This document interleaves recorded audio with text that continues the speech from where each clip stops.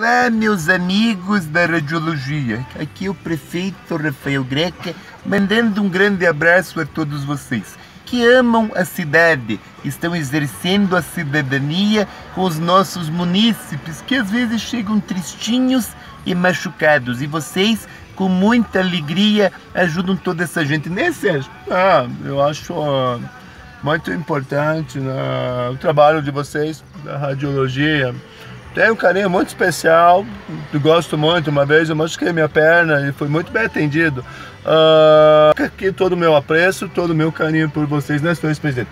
Eu vou dizer, quando eu perdi meu dedo, mas muito triste, eu não tive oportunidade sequer de tirar uma radiografia, uma coisa assim, porque o dedo caiu, aquela coisa toda. Então não, não, não, não tinha essa necessidade. Mas quando eu quebrei o meio dedo mindinho, vocês me trataram muito bem, então tem um carneiro aí. Quebrado e devia ter quebrado mais, ok? O tocante, que é o pessoal da radiologia, fico muito contente, feliz. Na questão, o senhor ex-presidente, o dia que ele chegar quebrado, dá um tiro nele, tá ok? Mas aí que absurdo, Jair. Não precisa tanto, né, Alba? Não, não, não precisa tanto.